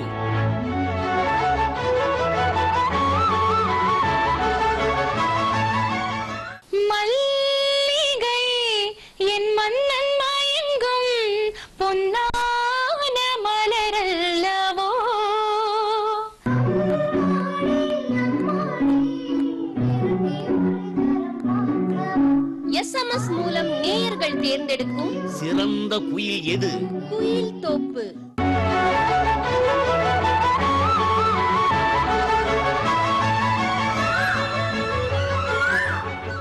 இந்நிகழ்ச்சியை வழங்குவோர் Aaradhya gold private limited. Podhigai. நேரில் இப்போ மேடம் பார்த்தீங்கன்னா ஐந்து வயதுக்குள்ள வந்து நீங்க ட்ரைனிங் கொடுக்கலாம்னா சப்போஸ் ஐந்து வயது கடந்த பிள்ளைகளுக்கெல்லாம் சப்போஸ் ஆறாவது ஏழாவது எட்டாவது படிக்கிற பிள்ளைகளுக்கெல்லாம் வந்து ஏன்னா அவங்க வந்து இப்போ இந்த ட்ரைனிங் பார்த்துருக்க மாட்டாங்க. அவங்களுக்கு என்ன மாதிரி பயிற்சி இருந்தால் கொடுக்குறீங்களா? இப்போ நான் சொன்ன மாதிரி வந்து அதுதான் ஆஹ் அவங்க நான் ஐந்து வயதுக்கு மட்டும் கொடுக்கல. ஏன்னா குழந்தைகள் பெரிய குழந்தைகள் அதாவது வந்து ப்ரீ டீன்ஸ் அண்ட் டீனேஜ் அந்த தென் அடலசன்ட் சில்ட்ரன் எல்லாருக்குமான பயிற்சி தான் பண்ணிக்கிட்டு இருக்கேன். குழந்தைகளுக்கான பயிற்சி மற்றும் பெற்றோர்களுக்கான பயிற்சி. இதையும் தவிர ஆசிரியர்களுக்கான பயிற்சி. ஏன்னா இவங்க எப்பவுமே நம்ம குழந்தைகள் அப்படின்னு பார்த்தா அவங்களை தனியா பார்க்க முடியாது. ஏன்னா அவர்களை வந்து அவர்களை சுற்றி இருக்கும் அடல்ட் பெரியவர்கள் ரொம்ப முக்கியம். ஸோ யார் இமீடியட்டா இருக்கான்னு பார்த்தீங்கன்னா ஒன்று பெற்றோர்கள் மற்றது வந்து ஆசிரியர்கள். ஸோ இது வந்து முக்கோணம் இந்த முக்கோணம் வந்து கல ஒன்னா இணைஞ்சு செயல்பட்டாதான் வந்து நல்லது. குழந்தைகளுக்கு சமுதாயத்துக்குமே நல்லது. ஸோ அப்போ என்ன செய்யறோம் அப்படின்னு பார்த்தீங்கன்னா முதல்ல வந்து குழந்தைகளுக்கான பயிற்சி வந்து நிறைய இன்டராக்ஷன் ஏன்னா அவங்க வந்து பெற்றோர் சொல்றதை கேட்கறத விட அந்த ஏஜ்ல வந்து வெளியிலேருந்து ஒருத்தர் வந்து ஃப்ரெண்ட்லியாக சொல்லி பேசும்பொழுது ரொம்ப ஈஸியாக எடுத்துப்பாங்க. அவங்களுக்கு வந்து அக்செப்டன்ஸ் வந்து ஈஸியாக இருக்கும். ஓ இவங்க நம்ம லெவலில் யோசிக்கிறாங்க. ஏன்னா அம்மாவோ அப்பாவோ பேசும்போது என்ன ஆகும்னா அதுல வந்து ஒரு எமோஷனல் கனெக்ட் இருக்கும். ஸோ அந்த இமோஷனல்ல வந்து என்ன ஆயிரும்னா தம்பி இப்படி இருக்கா தம்பி உன் வாழ்க்கைக்கு நல்லது இல்லை அந்த இமோஷனல் வந்து ஐயோ போர் அடிக்கிறாங்கப்பா அம்மா. அப்படின்ற ஒரு போர் வந்துடும் அப்படி என்ன ஆயிடுச்சுன்னா அப்ப நம்ம கேட்கவே தோணாது. நம்ம அங்கேயே ஸ்விட்ச் ஆஃப் ஆயிடும். ஸோ அதனால வெளியில இருந்து ஒருத்தர் வரும்பொழுது ஒரு நகைச்சுவையா அதை பத்தி சொல்லும் பொழுது ஒரு படங்கள் மூலமா சொல்லும் பொழுது ஒரு சீரியஸான விஷயத்தையும் வந்து அவர்கள் மனசுல பதியிற மாதிரி செய்ய முடியும். ஸோ இந்த மாதிரி பயிற்சி வகுப்புகள். ஸோ அப்ப அவங்களுக்கு வந்து ஒரு கோல் செட்டிங் ஸோ வாழ்க்கைனா நம்மளுக்கு என்ன? ஜாலி தப்பா ஜாலியா இருக்கிறது தப்பு கிடையாது. ஆனால் ஜாலியே வாழ்க்கையாகி விடாது அப்படின்றத வந்து நம்ம வந்து ரோட் அஹெட் அப்படின்ற ப்ரோக்ராம் மூலமா வந்து நான் வந்து நடத்திக்கிட்டு இருக்கேன். அது வந்து குழந்தைகளுக்கான பயிற்சி நடந்துகிட்டு இருக்கு. ஆசிரியர்களுக்கு வந்து நான் சொன்ன மாதிரி பெற்றோர்கள் மாதிரி தான் ஆசிரியர்களும். இந்த டீனேஜ் அப்படின்னாலே ஒரு பயம் வந்துரும். பிளஸ் வந்து நம்ம ஒரு விளையாட்டா கூட சொல்லுவோம். அந்த சிக்ஸ் பியா செவன் பியா ரொம்ப அருந்தவாள் பசங்கப்பா சமாளிக்க முடியாதுன்னு. அந்த ஏஜ் வந்து ஒரு விளையாட்டான பருவம் வந்து அவர்களுக்கு எல்லாமே லைட்டா எடுத்துக்கக்கூடிய ஏன்னா சீரியஸ்னஸ் லைஃபோட சீரியஸ்னஸே அவங்களுக்கு தெரியாது. ஸோ அப்ப சீரியஸ்னஸ் தெரியாத குழந்தைகள் வந்து எப்படி டீல் பண்ணலாம்? சரி அவங்க வந்து வேணும்ட்டே செய்யலாம். மேபி ஒரு சில குழந்தைகள் சீக்கிங் அட்டென்ஷன் அதாவது வீட்டில் நடக்கக்கூடிய பிரச்சனைகளாக they will be seeking attention so அந்த அட்டென்ஷனை கவனிக்கிறதுக்காக என்ன வேணால் தப்பு பண்ணலாம். சோ எப்படி பண்ணாலுமே அவர்கள் குழந்தைகள். சோ அந்த குழந்தைகளுக்கு எல்லா குழந்தைகளையும் சமாளிச்சிடலாம். என்னுடைய கருத்து அதுதான். என்னுடைய எக்ஸ்பீரியன்ஸ்ல நான் பார்த்ததும் அதான். கடினமான குழந்தைன்னு யாருமே கிடையாது. மாற்ற முடியாத குழந்தைகள்னு யாருமே கிடையாது. அவர்களுக்கு தேவையெல்லாம் அன்பு கவனிப்பு புரிதல். இது மூணுமே இருந்தாலே நம்ம குழந்தைகளை வந்து ஈஸியா அணுகிடலாம். அது எந்த விதமான குழந்தையா இருந்தாலும் சரி. சோ இந்த அன்பு கவனிப்பு புரிதலை நம்ம கிளாஸ் ரூம்ல பாடம் நடத்தும் போதே எப்படி இதை கொடுக்கலாம் அப்படின்றதுக்காக நான் ஆசிரியருக்கான பயிற்சி ஒண்ணு கொடுத்துட்டு இருக்கோம். பெற்றோர்கள் நான் சொன்ன மாதிரி பெற்றோர்களுக்கான பயிற்சி. ஓகே ஓகே மேம் இப்போ வந்து குழந்தைகள் உங்களோட பயிற்சியில குழந்தைகளுக்கு தொலைக்காட்சி பார்ப்பது எந்த அளவுக்கு இருக்கு? எந்த அளவுக்கு அவங்கள அலோவ் பண்ணலாம்? See இப்ப இருக்கிற காலகட்டத்துல வந்து தொலைக்காட்சி பார்க்காத இல்ல இன்டர்நெட் யூஸ் பண்ணாத அப்படின்றது சொல்லவே முடியாது. சோ அவர்களுக்கு வந்து கண்டிப்பா வந்து நம்ம வந்து எந்த அளவுக்கு பார்க்கலாம்? See அதுதான் அளவுக்கு மிஞ்சினால் அமிர்தம் விஷயம் நான் சொன்ன மாதிரி நம்ம வந்து விளையாட்டா காமிக்க போறோம். ஒரு ரோட் ஹெட்ன்ற ப்ரோக்ராம்ல இதுதான் காமிக்கிறோம். சோ எந்த அளவுக்கு ஒரு சர்டன் டோசேஜ்ல யூஸ் பண்ணலாம் அப்படின்றத வந்து புரிதலை கொண்டு வரும். இப்போ மொபைல் ஃபோன் இதுல கண்டிப்பா. இது வந்து ஒரு பெரிய பெரிய கொஸ்டின் என்னன்னா வந்து இன்டர்நெட்னு சொல்லும்போதே நான் அடுத்தது அதை தான் சொல்ல வந்தேன். இன்னைக்கு இந்த மொபைல் ஃபோன் அடிக்ஷன் பிளஸ் வந்து சமூக வலைத்தளம் அப்படின்றது வந்து குழந்தைகளுக்காக கிடையாது. பதினெட்டு வயசுக்கு மேல அப்படின்னா கூட பெற்றோர்கள் எல்லாருமே வந்து கையில கொடுத்துறாங்க ஏன்னா வந்து ஒரு டியூஷன் போகும்போதோ ஒரு விளையாட்டு போகும்போதோ. ஸோ பெற்றோர்கள் வந்து சொல்லும்போது ஏங்க ரொம்ப அடிக்ட் ஆயிட்டாங்க? நான் கேட்டது முதல்ல யார் வாங்கி கொடுத்தது? வாங்கி கொடுத்தது பெற்றோர்கள் தான் ஸோ அப்போ வந்து குழந்தைகள் வந்து அதை வந்து எப்படி யூஸ் பண்ணலாம் எந்த அளவோடு அவங்க யூஸ் பண்ணலாம் அப்படின்றத சரி அதுக்கு தான் நான் சொல்றேன். இந்த பெற்றோர்கள் பயிற்சி பண்ணும்போது அவர்கள்கிட்ட குழந்தைகள் கிட்ட பேச சொல்லணும் நம்ம என்ன பண்றோம்னா நிறைய நேரம் அத்தாரிட்டேட்டிவாவே இருக்கும். செய்யாத செய்யாதன்னு சொல்கிறோம் ஏன் செய்யக்கூடாது? செஞ்சா இதனால என்ன வரும்? என்ன பாதிப்பு வரும்? ஒரு ஃப்ரெண்ட்லி அப்ரோச் இருந்ததுன்னா நம்ம வந்து பெற்றோர்களுக்கும் குழந்தைகளுக்கான புரிதல் இருந்துச்சுன்னா ரொம்ப நல்லா இருக்கும். ஆனா அது மட்டும் தான் மிஸ்ஸிங் ஆயிருக்கு. ஸோ இந்த மொபைல் போன் அடிக்ஷனை வந்து எப்படி கொண்டு வரலாம் அப்படின்னா வந்து தம்பி நீ ஒரு மணி நேரம் பாரு. தம்பி பாப்பா நீ ஒரு மணி நேரம் பாரு. இப்போ உனக்கு சாட் பண்ணணுமா? இல்ல உனக்கு half an hour fifteen minutes என்ன டைம் கொடுக்குறீங்களோ அந்த டைம் அதுக்கப்புறம் நீங்க மறந்துடாம வாங்கிடணும்.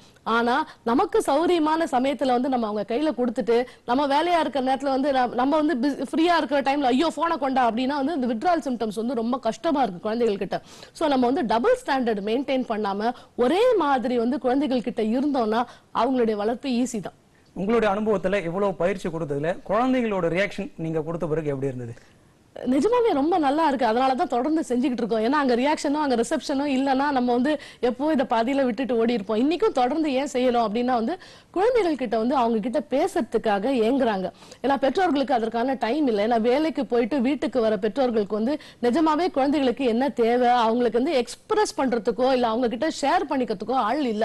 அதனால மட்டும்தான். சோ இந்த பயிற்சி வகுப்புகள் நடக்கும்போது குழந்தைகள் வந்து ஃப்ரீயா மனம் விட்டு பேசும்போது அவங்க வந்து ரிசப்ஷன் எடுத்துக்கிறாங்க. நெக்ஸ்ட் டைம் போகும்போது ஆன்ட்டி நாங்க இதெல்லாம் பண்ணிட்டோம். மேம் இதெல்லாம் நாங்க செஞ்சுட்டோம். இப்பெல்லாம் நான் காலையில எழுந்துக்கிறேன் நான் எக்ஸசைஸ் செய்யறேன் அப்படின்னு சொல்றாங்க. இதை சொல்லும்பொழுது எனக்கு இன்னொரு இது ஞாபகம் வருது. நான் வந்து கேன்சர் விஷன் ஃபவுண்டேஷன் அப்படின்ற ஒரு ஆர்கனைசேஷன்ல வந்து நான் ஒரு ஃபவுண்டிங் மெம்பர் இது என்ன செய்யறோம் அப்படின்னா ஏன்னா குழந்தைகளுக்கான கேன்சர் அப்படின்றது வந்து இன்னும் பத்து வருடங்கள்ல வந்து ரொம்ப இந்தியாவில வந்து கேன்சர் வளர்ச்சின்றது ரொம்ப அபரிதமா இருக்க போகுதுன்ற பயத்தை கொடுக்குது நமக்கு அந்த ரிசர்ச் சொல்லுது. ஸோ அப்போ வந்து குழந்தைகள் கிட்ட நான் சொல்றதெல்லாம் ஒண்ணு ஒன்று தான் இந்த மொபைல் ஃபோன் யூசேஜ் ஏன்னா அதனால அவங்க வந்து உட்கார்ந்துகிட்டே இருக்காங்க வீடியோ கேம்ஸ் ஸோ அவங்களுக்கு மொபிலிட்டி இல்லாததால ஏன்னா அதுதான் வந்து ஒபேசிட்டிக்கு முக்கியமான காரணம்.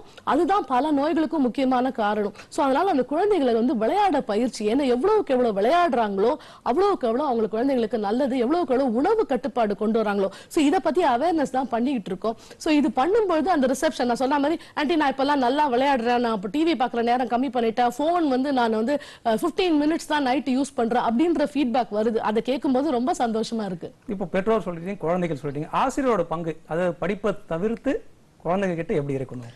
ரொம்ப ரொம்ப முக்கியமானது. அதனால தான் வந்து நான் சொன்ன மாதிரி அந்த ட்ரையாங்கிளில் முக்கியமான பாயிண்ட் வந்து ஆசிரியர்கள் தான். ஏன்னா ஆசிரியர்கள் வந்து teachers play a vital role இந்த சொசைட்டி நம்மளுடைய சொசைட்டியோட மாற்றத்தை சமுதாய மாற்றம் கொண்டு வரணும்னாலே அது டீச்சர்ஸால் மட்டும்தான் முடியும். அந்த டீச்சர்ஸ் நல்லா இருக்கணும்னா அதுக்கு வந்து அவங்களுக்கு காரணமான பிரின்சிபல் அந்த ஹெட் நல்லா இருந்துச்சுன்னா அந்த இன்ஸ்டிடியூஷன் நல்லா இருக்கும். ஸோ ஆசிரியருக்கான பயிற்சி எந்த அளவுக்குன்னா சரி அன்ஃபார்ச்சுனேட்டாக வந்து இப்போ வந்து காலகட்டத்தில் என்ன நடக்குதுன்னா எல்கேஜியில் கூட இங்கிலீஷ்க்கு ஒரு டீச்சர் மேத்ஸுக்கு ஒரு டீச்சர் சயின்ஸுக்கு ஒரு டீச்சர் டீச்சர்னு வராங்க. சி ஐந்தாம் வகுப்பு நான் சொல்வது எட்டாம் வகுப்பு வரைக்கும் கூட வந்து ஒரே ஆசிரியர் இருந்தாங்கன்னா அது வந்து ரொம்ப நல்லா இருக்கும். ஏன்னா வந்து we will be able to connect James Kohler அப்படின்ற ஒரு ரிசர்ச்சர் என்ன சொல்றாருன்னா where there is significant relationship there is significant learning happens அப்படின்றது எங்க வந்து உறவு முறை இருக்கும் ஸோ மாணவருக்கும் ஆசிரியருக்கான உறவு முறை வந்து ரொம்ப முக்கியம். அந்த உறவு முறை இருக்கிற இடத்துல மட்டும்தான் லேர்னிங் இருக்கும் அப்படின்றாரு. எமோஷனல் கனெக்ட் இருக்குன்றாரு ஸோ அப்போ ஆசிரியர்களுக்கு முதல்ல என்ன வேணும்னா நான் பாட புத்தகத்தை எடுத்துட்டு போய் இன்னைக்கு வந்து இந்த சிலபஸ் கம்ப்ளீட் பண்ணி ஒரு டெஸ்ட் கொடுக்கறத விட முக்கியம். எனக்கு அந்த குழந்தை புரியணும். நாலாம் பெஞ்சில் மூணாவதா உட்காந்துட்டு இருக்க ஆள் யார்? அந்த பையன் யாருன்றது எனக்கு தெரியணும். அவனுக்கு என்ன தேவை? இன்னைக்கு ஏன் வந்து அவன் டல்லா இருக்கா அவன் வீட்டில் பிரச்சனையா? இல்லை அவன் காலையில சாப்பிடாம வந்துட்டானான்ற பிரச்சனை தெரியணும் அவனுக்கு. அந்த அளவுக்கு இருக்கணும். ஆசிரியருக்கு அந்த கனெக்ட் இருந்தா மட்டும்தான் அவங்களால வந்து they will be able to perform better குழந்தைகள் வந்து படிப்பு அந்த விளையாட்டு இதை தவிர்த்து வேற என்ன வந்து அவங்களுக்கு சப்போஸ் ஒரு ஒரு குழந்தைங்க வந்து இப்போ வந்து பொம்மைகளை பிரிப்பாங்க. ஒரு சில பேர் வந்து டிராயிங் நல்லா பண்ணுவாங்க டான்ஸ் பண்ணுவாங்க இப்படி அவங்களுடைய செயல்பாடை தவிர்த்து சில பேர் வந்து சில பெற்றோர் ஆசிரியர் வந்து வேற ஒன்று திணிப்பாங்க. அது அவங்களால வந்து ஏற்றுக்கொள்ள முடியாது. ஆனா வந்து அந்த திணிப்பு வந்து தொடர்ச்சியா இருக்கும். அந்த மாதிரி குழந்தைங்களை வந்து எந்த மாதிரி மாறிடும் சப்போஸ் அதுதான் வந்து மன உளைச்சலுக்கு ஆனால குழந்தைகள். அந்த குழந்தைகள் தான். ஏன்னா வந்து இப்ப குழந்தைக்கு வந்து பாட்டே வராது. ஒரு குழந்தைக்கு வந்து ஒரு பெற்றோர் என்ன பண்ணுவாங்கன்னா அந்த அம்மா வந்து அவங்களுக்கு பாட்டு பாடணும்னு ரொம்ப ஆசையா இருக்கும். ஆனா அந்த குழந்தைக்கு நேச்சுரலா வந்து பாட்டு பாட வராது. இல்ல பாட்டு பாட பிடிக்காது. ஆனா அதை தொடர்ந்து வந்து நீ பாட்டு கிளாஸ்க்கு போ பாட்டு கிளாஸ்க்கு போ அப்படின்னு சொல்லும் பொழுது அந்த குழந்தை வந்து அந்த மன உளைச்சலை என்ன பண்ணுதுன்னா வேற ஒரு இடத்துல வெளி காமிக்குது. அந்த வெளிப்பாடு எங்க வருதுன்னா அடுத்த குழந்தைகளை டிஸ்ட்ராய் பண்றதுலயோ இல்ல தனக்கு தானே டேமேஜ் பண்ணிக்கிறதுலயோ தேவையில்லாத இடத்துல ஒரு அட்டென்ஷன் காமிக்கிறதுலயோ வந்து அது இடத்துல வந்து அங்க எக்ஸ்பிரஸ் ஆகுது. சோ அதை தான் நம்ம சொல்றோம் பெற்றோர்கள் கிட்ட எதையுமே திணிக்காதீர்கள். சி கண்டிப்பாக நம்ம எக்ஸ்போஸ் பண்ணணும். ஏன்னா வந்து அந்த நாலு வயசுலயோ அஞ்சு வயசுலயோ ஆறு வயசுலயோ தெரியாது. எனக்கு இதுதான் பிடிச்சிருக்கு அப்படின்றது தெரியாது. சோ அப்ப நம்ம கூட்டிட்டு போறோம். ஒரு கராத்தே கிளாஸோ ஒரு டான்ஸ் கிளாஸோ இல்ல வந்து வேற என்ன ஆக்டிவிட்டி ரோபோட்டிக்ஸ் கிளாஸோ ஏன்னா இப்ப அது ரொம்ப பிரபலமா இருக்கு. சோ எங்க கூட்டிட்டு போறோம்? அந்த குழந்தைக்கு ஒரு நேச்சுரல் இன்ட்ரெஸ்ட் இருந்ததுன்னா தானா டெவலப் ஆகி வரும். சோ அந்த வரக்கூடிய காலகட்டத்துல நம்ம அதை ஊக்குவிச்சு கொண்டு போகலாம் தவிர அவங்கள பிரஷர் பண்ணக்கூடாது. ஒரு புதுசா கத்துக்கிறதுன்ற குழந்தைங்க எந்த வயதுல இருந்து ஆரம்பிக்கலாம்? ஒரு புது கலையை வந்து கத்துக்கிறது. அந்த ஆரம்பம் நீங்க சொன்ன மாதிரி ஜீரோல இருந்து ஃபைவ் இயர்ஸ்க்குள்ளே ஆரம்பிக்கணுமா? இல்ல ஃபைவ் இயர்ஸ் கடந்து ஆரம்பிக்கணும்? சரி சில விஷயங்கள்ல வந்து நம்ம வந்து அஞ்சு வயதுக்குள்ளேயே ஆரம்பிச்சிடலாம். அதாவது இந்த படம் வரைகிறது இதெல்லாம் வந்து நேச்சுரலாவே நமக்கு தெரியும். விளையாடுறது எல்லாமே தெரியும். ஆனா முறையான பயிற்சி உடற்பயிற்சி அப்படின்னு வரும்போது அதாவது ஒரு முறையான விளையாட்டோ இல்ல ஒரு நாட்டியமோ இல்ல ஒரு கராத்தேவோ இதெல்லாம் கண்டிப்பா ஆறு வயசுக்கு மேலதான் ஆரம்பிக்கணும். ஏன்னா அந்த உடல் பலம் பெற்றிருந்தா மட்டும்தான் மனபலமும் வரும். சி நான் வந்து கேட்கணும். நான் சொல்றத இன்ஸ்ட்ரக்ஷன்ஸ் ஃபாலோ பண்ணணும். நான் அந்த இன்ஸ்ட்ரக்ஷன்ஸை வந்து நான் உள் வாங்கிக்கிட்டு நான் அதை வெளிப்படுத்தணும். அதற்கான உடல் பலமும் எனக்கு இருக்கணும்னா அது ஆறு வயசுக்கு மேலே மட்டும்தான் இருக்கும். சப்போஸ் சில குழந்தைகளுக்கு வந்து படிப்பு வந்து ரொம்ப கம்மியாக வரும். ஆனால் வந்து அந்த படிப்பு வந்து அதிகமாக திணிக்க வரும் ஏன்னா அவங்க வந்து பன்னெண்டாவது வரைக்கும் கண்டிப்பாக படிச்சது ஆகணும். மற்ற கலையை வந்து அவங்களுக்கு ஆனால் சில பேருக்கு வந்து கலையை வளர்க்காம வந்து படிப்பையே வந்து திணிச்சுனே இருப்பாங்க. அவங்களால வந்து ப- ஒரு பத்தாவதுலேயே அவங்களுடைய அந்த அவுட்புட் தெரிஞ்சிடும் இருந்தாலும் பதினொன்றாவது வந்து முதல் குரூப் எடுக்க வச்சு அந்த மேக்ஸ் புக் படிக்க வச்சு படிக்க வைக்கிறது. திருப்பி டுவெல்த்தில் வந்து கம்மி மார்க் எடுத்து அதுக்காக வந்து கோச்சிங் போகிறது இப்படி படிப்பு சம்பந்தம் மட்டுமே இருக்கிற பெற்றோரும் ஆசிரியரும் அவங்களுக்கு இப்போ அந்த எந்த வயதில் வந்து அவங்களுக்கு சப்போஸ் கவனிப்பு விட்டுட்டாங்க. ஜீரோ டு ஃபைவ் இயர்ஸில் விட்டுட்டு அதுக்கு மேலே எந்த வயதில் அவங்கள வந்து கவனிக்கலாம்? சி அதாவது இப்போ வந்து இந்த படிக்க மா- மாணவர்கள் பத்தி சொன்னீங்க. சி இந்த ஆப்டிடியூட் அப்படின்றது வந்து பதி பதிமூணு வயசு அதாவது எட்டாம் கிளாஸ்லயே தெரிஞ்சிடும் இவருக்கு சயின்ஸ் வருமா வராதா மேத்ஸ் வருமா வராதா? சி எல்லாம் நல்லா படிச்சவங்க எல்லாருமே வந்து அதாவது நிறைய மார்க் வாங்குறவங்க எல்லாருமே வந்து வாழ்க்கையில சாதிச்சிட்டாங்களா அப்படின்னு பார்த்தா கிடையாது. ஒரு கல்வியாளரா நான் இதை சொல்லக்கூடாது. ஆனா இதை ஏன் சொல்றேன் அப்படின்னா வந்து ஏன்னா மார்க்கை மட்டுமே நோக்கி வா நம்ம வந்து பயணிச்சுட்டு இருக்கோம். சோ இது வந்து கண்டிப்பா நல்லது கிடையாது. இது வந்து குழந்தைகளுக்கு பல விதத்துல இன்னைக்கு உங்ககிட்ட இருக்கிற திறமையை அன்னைக்கு யாரோ ஒரு ஆசிரியர் வந்து இனம் கண்டு அப்பா நீ நல்லா பேசுற அப்படின்னு சொன்னதால தான் நீக்கு பேசிட்டு இருக்கீங்க. ஸோ அது மாதிரி வந்து ஒவ்வொருத்தருக்கிட்டையும் ஒரு ஒரு திறமை இருக்கு. அந்த திறமையை வெளிக்கொண்டு வரணும் அன்பார்ச்சுனேட்டா என்ன ஆயிடுச்சுன்னா நம்ம ஊர்ல வந்து நிறைய பள்ளிக்கூடங்கள் எனக்கு தெரியும். சயின்ஸ் குரூப்பை தவிர வேற குரூப்பே இல்லாத ஸ்கூல்ஸ் கூட இருக்கு. ஹியூமானிட்டிஸ் கூட கொடுக்கறது கிடையாது. ஸோ சயின்ஸ் படிச்சா மட்டும்தான் வாழ்க்கை சயின்ஸ் படிக்கலன்னா வாழ்க்கையே இல்லை அப்படின்ற மாதிரி வந்து ஒரு காலகட்டத்தில் நம்ம இருக்கோம். காமர்ஸ் எக்கனாமிக்ஸ் அக்கௌண்டன்சி நம்மளுக்கு வந்து லிட்ரேச்சர் எல்லாமே முக்கியம் நம்ம வாழ்க்கையில. ஸோ அதற்கான ஆளுமை திறன் அந்த குழந்தைங்களுக்கு இருந்து அதற்கான ஒரு ஆப்டிடியூட் இருந்துச்சுன்னா கண்டிப்பா அவங்கள என்கரேஜ் பண்ணி தான் ஆகணும். இப்போ பார்த்தீங்கன்னா குழந்தைகளுக்கு வந்து ஒரு கலை மட்டும் இருக்காது. அவங்க டிராயிங் போவாங்க கராத்தே போவாங்க பாட்டு கிளாஸ் போறாங்க டான்ஸ் கிளாஸ் போறாங்க நீச்சல் போறாங்க. இப்படி அதிக கலைகளை வந்து திணிக்கிறது சரியா? சி இதை வந்து பொழுதுபோக்கா கத்துக்கலாம். எதையுமே எல்லாத்தையுமே களவும் கற்று மரதானே நம்ம சொல்லியிருக்கதே களவும் கற்று மரம் எந்த ஒரு புதுசு நிறைய கத்துக்க முடியாது இப்படி வந்து ஐந்தும் திணிக்கும் போது எது முழுசா ஸ்பெஷலைஸ் பண்ண முடியாது. அதுதான். சோ வந்து ஜாக் ஆஃப் ஆல் தான் இருக்கும் மாஸ்டர் ஆஃப் நன்னா தான் ஆயிரும். ஸோ அதனால வந்து அவர்களுக்கு அதாவது நம்ம இன்ட்ரடியூஸ் பண்றோம். நான் சொன்ன மாதிரி வந்து எனக்கு தெரியாதுல்ல என் குழந்தைக்கு என் குழந்தைக்கு ஆறு வயசு ஆகுது அந்த குழந்தைக்கு என்ன திறன் இருக்குன்னு எனக்கு தெரியல. ஸோ நான் ஒன்று ஒன்றா இன்ட்ரடியூஸ் பண்றேன். ஸோ அதுக்கு எதுல வந்து ஈடுபாடு இருக்கோ அதுல வந்து அந்த குழந்தை மேலோங்கி வரும். இப்போ பாட்டு தெரிஞ்ச வீட்டில் பார்த்தீங்கன்னா அவங்க பாட்டு கற்றுக் கொடுத்துருவாங்க. டான்ஸ் இருக்கிற வீட்டில் வந்து டான்ஸ் கொடுத்துருவாங்க கலைகள் மற்றபடி நடிப்பு சம்பந்த வீட்டில் நடிப்பு கற்றுக் கொடுத்துருவாங்க. மியூசிக் ஆனால் இது சம்பந்தம் இல்லாத குடும்பம் தான் அதிகம் இன்னைக்கு உலகத்தில் பாரு. நம்ம நாட்டிலே வந்து இந்த மாதிரி சம்பந்தம் இல்லாத கலைகள் உள்ள குடும்பம் தான். இவங்க என்ன பண்ணணும்னா ஏதாவது ஒன்று கற்றுக்கணும் ஏதாவது ஒண்ணு கத்துக்கணும் அதால அனுப்பணும் அனுப்பணும் அப்படின்னும் போது கொஞ்சம் ஒண்ணு கத்துட்டு வரும்போதே குழந்தை சரியா கத்துக்காது. அதால இன்னொரு இன்னொரு பக்கம் டைவர்ட் பண்ணுவாங்க. இன்னொரு பக்கம் டைவர்ட் பண்ணுவாங்க. இப்படி போய் பார்த்தீங்கன்னா கடைசியா பார்த்தீங்கன்னா ஒரு கலை கூட முழுசா தெரியாது போயிடும். அப்புறம் பார்த்தீங்கன்னா பெற்றோரோட மனசுல என்ன தைக்கணும் எல்லாம் அனுப்பணும் சரியா கத்துக்கல நீ. குழந்தைங்களை தான் வந்து அந்த அதுக்காக. தான் நான் சொன்னேன் பெற்றோர்கள் பயிற்சி. நான் சொன்ன மாதிரி வந்து எந்த இன்ஸ்டிடியூட்டும் சொல்லி தரது கிடையாது. ஸோ அதனால வந்து என்ன குடும்பத்தில் எனக்கு எதுவுமே லீனேஜ் கிடையாது. ஆனால் நான் வந்து ஏதாவது என் குழந்தை ஆகணும்னு எதிர்பார்க்குறேன் ஏதோ ஒன்றாக ஆகணும் அது என்னன்னு எனக்கு தெரியல அப்படின்னும் பொழுது ஒரு கைடன்ஸ் தேவை. ஸோ அது என்ன மாதிரி கைடன்ஸ் அப்படின்னும் பொழுது இப்போ நீங்க சொன்ன மாதிரி அஞ்சு வயசுல முடிக்க முடியல வந்து ஒரு பன்னெண்டு வயசுனா அதற்கான ஆளுமை திறன் சோதனைகள்லாம் நிறைய இருக்கு. ஸோ சைக்கோமெட்ரிக் டெஸ்ட் எல்லாம் பண்ணும்பொழுது என்ன ஆகுதுன்னா அவங்களுக்கு என்ன டாப் இருக்குன்றது புரியும் அவங்களுக்கு. அது அவங்க என்ன குவாலிட்டி நல்லா இருக்கு அது எதுல அவங்க மேல வருவாங்கன்றது நல்லா புரியும். நிறைய தகவலை பகிர்ந்து கொண்டு மேம் கண்டிப்பா நேயர்களுக்கும் குறிப்பா பெற்றோர்கள் குழந்தைகள் இருக்க பெற்றோர்களுக்கு வந்து பயனுள்ளதாக அமைஞ்சிருக்கும். நிலையத்திற்கு வந்து உங்கள் தகவலை பகிர்ந்து கொண்டதுக்கு மிக்க நன்றி இந்த வாய்ப்பு அளித்த பொதிகை தொலைக்காட்சிக்கு நன்றி. உங்க பொதிகை தொலைக்காட்சி சார்பாக ஒரு சிறு பரிசு உங்களுக்கு. ஓ தேங்க்யூ நன்றி நன்றி. நேயர்களே இது செய்திகளுக்கான நேரம். வாங்க செய்திகளை பார்த்துருவோம். பொதிகை சமூக